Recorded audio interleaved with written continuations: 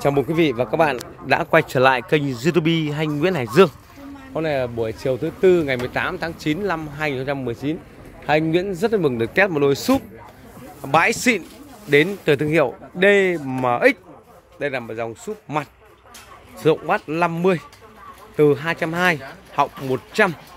Thì đôi súp này nó ở trong tình trạng đẹp xuất sắc, đẹp không tì vết. Thế là uh, ờ, đẹp từ ngoài vào trong mà cả các bác hình dung này, từ cái chỗ mà để cắm cái cái giá loa, vẫn còn chữ DMX một dòng bãi xịn luôn. Mà cái súp nó hay hay không ấy, thì cái thùng này, nó giữ một vị trí hết sức quan trọng. Thì đây là một dòng thùng là gỗ ép nhiều lớp, sơn sần bóng, bắt đánh sâu, đánh lực và đánh bàn. Riêng dòng DMX này là một trong dòng nó có thương hiệu rất lớn ở thị trường Việt Nam.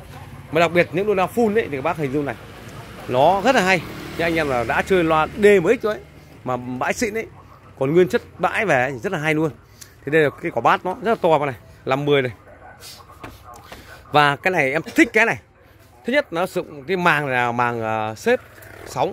Bởi vì những cái tiếng súp ấy nó là một trong tiếng súp đánh rất là căng đánh nực. Và nó uh, rất tương công suất. Do vậy người ta nhà xuất người ta phải gia cố cho cái màng này. À, bằng uh, bằng giấy nhưng phải xếp sóng để nó tránh cái lực à, cơ học đánh ngang để cho cái côn loa này hoạt động lên xuống. Theo một trục thẳng đứng này. Đấy. Bác người gỗ này đã sướng này. Đấy. Rất là trâu bò quý thì đây là quả súp mà em sẽ gửi cho bác um, bác gì nhỉ? Hả? Thấy bà và bên dưới này màng nó là sần. Giấy sần.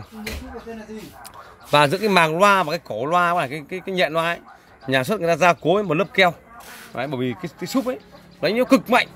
Cho nên là nếu lâu ngày nó sẽ bóc nó sẽ bóc chảy cái này nó bóc vào chỗ cái này ra. Đấy, bóc chảy ra.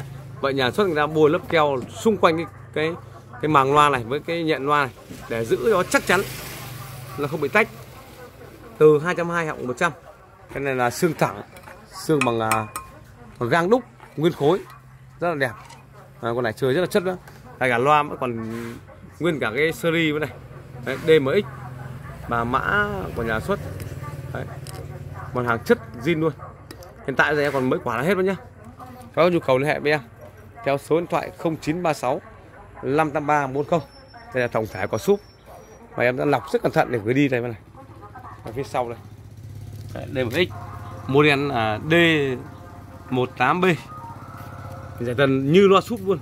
40 đến 120 Hz công suất là 750W nội trợ 8 ô hỗ trợ hai đường lưu trích Đấy. rất chuẩn luôn